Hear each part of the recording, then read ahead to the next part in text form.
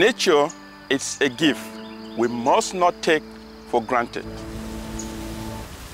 We are facing a climate change crisis that threatens the very fabric of our ecosystems. The quality of our lives are at stake. Hello, my name is Michael Ngo. I'm a PhD candidate at the University of Tennessee. My research focuses on climate change effects in ecological systems. I study orchids that grow on trees in forests. These beautiful orchids make the forest canopy denser and cooler. Forests regulate the global climate, but they are disappearing at an alarming rate. Forest clearing, wood harvesting, and the marketing of these wild orchids are wiping them out.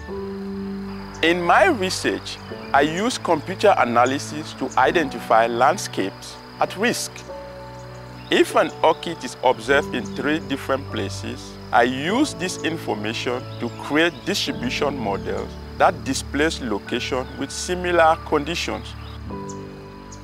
Organizations like the United Nations can then use my data to improve policies that will protect those areas.